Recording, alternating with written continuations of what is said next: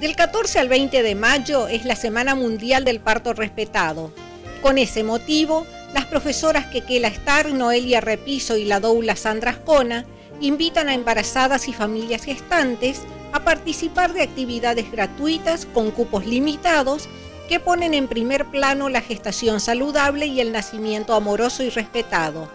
Al pie de la pantalla figuran números de contacto para mayores informes e inscripción.